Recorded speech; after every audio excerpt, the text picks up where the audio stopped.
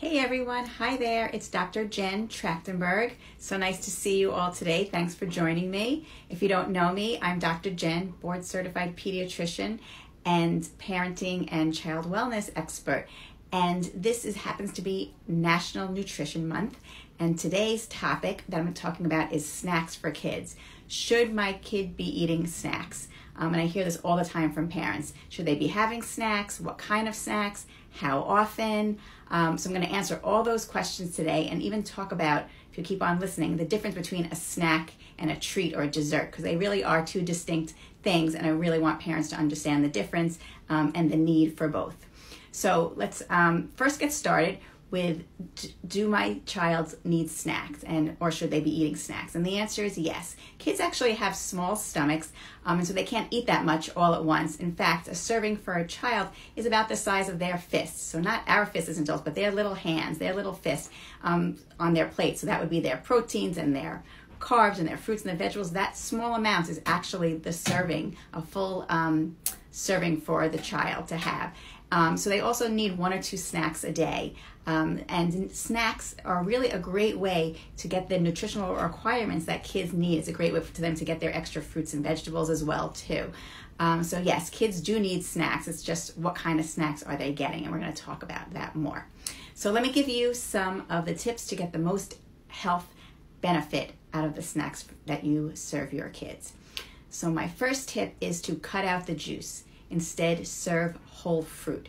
And that's really, really important, right? Kids don't need juice. Why? Because it's just really, really sugary water. Even if it doesn't have high fructose corn syrup in, which many, many fruit drinks and juices have, um, 100% fruit juice has oftentimes lots of apple juice in it, um, and it has a lot, a lot of sugar. So, for example, if you're drinking orange juice, right, in one cup you may have like six or seven squeezed oranges. So that's a lot, a lot of sugar.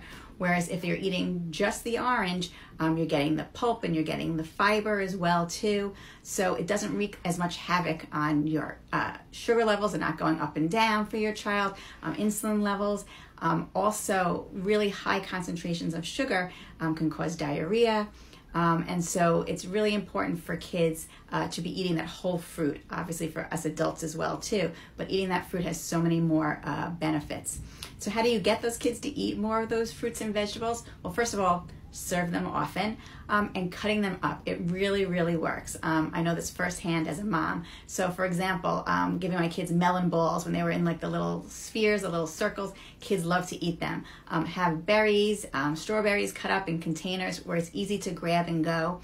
Um, even making like a kebab. So, just taking like an ordinary you know, a stick that you can buy, um, a skewer that's made out of wood or what have you, or metal, and you just put the um, fresh fruits and vegetables right on there and kids love to eat them and take them off and eat them and of course dips right? Kids love to dip things as well too. So if you have some yogurt that kids can dip it in you can even make for example like a parfait in a glass put in some red berries and then some blueberries put a dollop of yogurt on top or even a dollop of whipped cream um, your kids will love it and it's a fun snack that's really nutritious for them to have as well too so just forego the juice and go right for the fruit um, my second tip is to make snack an activity. So if kids are having a snack, that is their activity. They shouldn't be walking around or playing, um, specifically not watching TV. You want your kids to be sitting, if you can, at a table, being mindful and eating and um, paying attention to what they're eating. Because we know when kids are either just walking around or they're watching TV, they eat so many extra calories, and it's usually junk and garbage um, you know, uh, snacks that they're eating, and they may be eating a whole bag of potato chips and not even knowing it when they're watching TV. So you want to be mindful um, and be really thinking about what they're eating and um, have them paying attention. So you don't want to be multitasking. Again, have snack, really carve that in as part of the day and part of the activity, even if it's just a few minutes or so. So the next tip is to think outside the conventional snack bag. So, as I said, you know, parents often think a snack has to be popcorn or chips or cookies, something that's a package that's highly processed. And that's not it at all. Snacks can actually be the leftovers from the meal if they didn't finish their meal. Um, and if they liked it but they just didn't finish it, you can give, you know, if they had like pasta that was left over, um, they can have that as a snack. Other snacks, again, it's a great time to get in extra fruits and veggies, so cut them up. um, peppers kids love to eat and dip them into hummus. And there, you know, you can make your own snack mix. Take a whole grain um, low sugar cereal. You could add in some craisins. You can even add in um, some berries, or you can add in some nuts as well too, and just put that in a little uh, container, and kids can eat that. Um, a great healthy snack, high in fiber as well too. Um, even turkey, you know, breast, they can just roll it up and eat that as a snacks. Um, celery with peanut butter on it, cheese and crackers. So again, foods can be snacks. It's really just the smaller quantity is what makes it a snack. It can really be healthy. Again, if you don't have a lot of time, um, milk is actually a great snack as well too. So milk, a cup of milk has eight grams of protein, so it's a high protein source and um, kids can have that. It's high in calcium. They can get the vitamin D that they need, um, as well as I said, a serving of calcium. There's um, potassium as well as B vitamins. So even just a glass of milk is a great snack um, for kids to have in between meals, particularly if they're drinking water at the mealtime. So another tip for parents, for you guys out there, is to really make sure that you don't confuse boredom with hunger. So oftentimes kids say, I'm hungry, I'm hungry, or they're whining, and so we just, you know, give them food or we give them some cookies or we give them some crackers or goldfish. And it's really not that they're hungry, it's just that they're bored um, or they need something to do.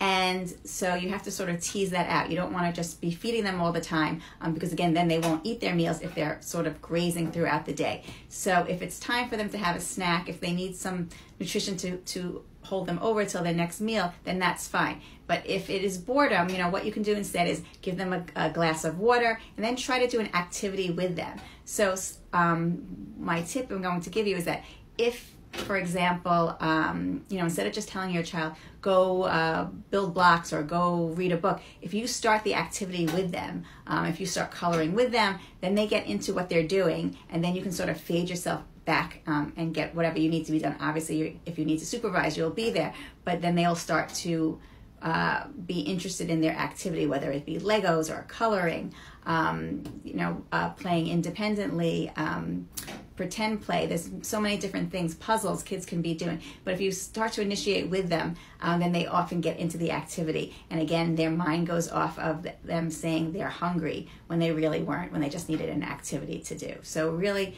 kind of, you know, take a second to think um, about that. That the child may not be hungry. It may that they be bored or need something to do. Um, and then lastly, I really wanted to talk about the difference between snacks and dessert. They're totally two distinct things. So, snacks, as I said, are almost small meals that you're giving your child, whereas a dessert is something that usually comes after a meal or dinner time. Um, and a dessert is not something that they need to have all the time, unless, again, it's a fruit.